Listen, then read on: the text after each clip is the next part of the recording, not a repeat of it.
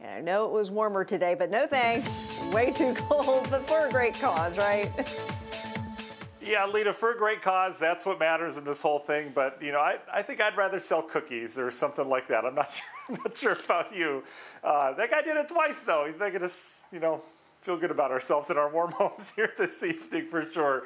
Uh, but hope everyone's doing well there on this uh, Saturday evening. Matt Wintz in for Matt Standridge, who's in for Jason tomorrow morning. Once again, he'll get you up and at him tomorrow morning. He'll be tracking rain on radar, so it'll be a pretty active weather pattern tomorrow morning.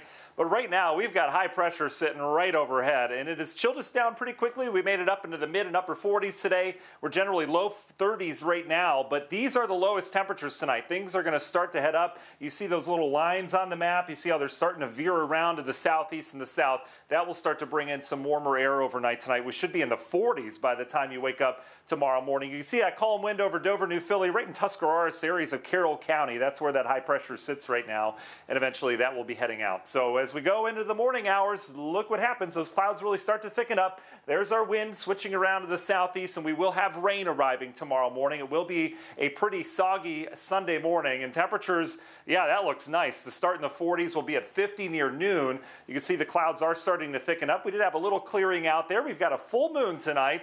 It's still filtered. I looked outside. These are some high, thin clouds, but they are really thickening up. And that's in advance of some showers and thunderstorms down to the south. These have been severe at times, mainly just some flooding issues, areas of Tennessee. But this is all along a warm front, and this warm front will push in overnight tonight.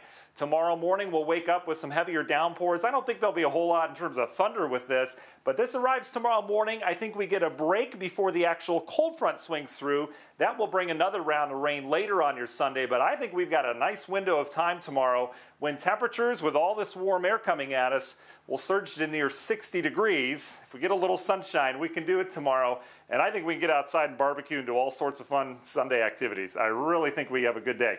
Here we go, hour by hour National Design Mart forecast. Here comes the rain tomorrow morning. See, temperatures are up near 40. Here's a soggy start to your morning. It looks like everyone's pretty much equal chances on this. This will be a pretty moderate rain at times. Temperatures heading up near 50 by lunchtime. But you see how that pushes out. Here's our little dry section throughout the afternoon. We'll likely have clouds lingering. I think we get some sun peaks in here. If we do, I could see low 60s for highs. If we stick with the clouds, upper 50s ought to do it. Either way, open up the windows and get all that winter smell out. I, am down here with the cat litter, so that's probably why I need to get the smell out. But Maybe your home smells just fine. That's great. But open up the windows tomorrow. Here comes the rain tomorrow evening, though. This is with the cold front. And you notice how we go from 50s late tomorrow evening back to the 30s Monday morning. So that will be our little hit back to reality again. And Monday's interesting as well. It'll remain cold and blustery on Monday, but we'll break out into some sunshine. But Monday evening rush hour, I want to keep my eye on because we're going to have a little system zip by. This will likely produce some bursts of snow for that evening rush hour.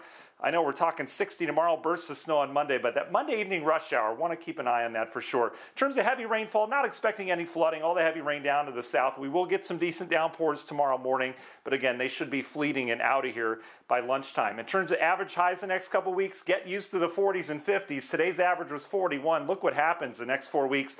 We're up near 50 degrees for an average. Remember, that's the midpoint as we get into the last half of March. All right, little blip there, but we're good. Union Home Mortgage seven day forecast. There's your evening snow on Monday. Look at the sunshine that develops after that in your 10 day forecast. We've got temperatures that'll head up. It will get cooler next weekend, but I've got all dry weather and sun for the next eight days after this. Lena, we have really turned the corner here. Not quite temperature wise, but at least with that sunshine.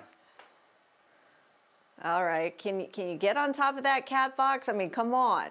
Get to scooping. Yeah, I, I clean it once a month. We're good.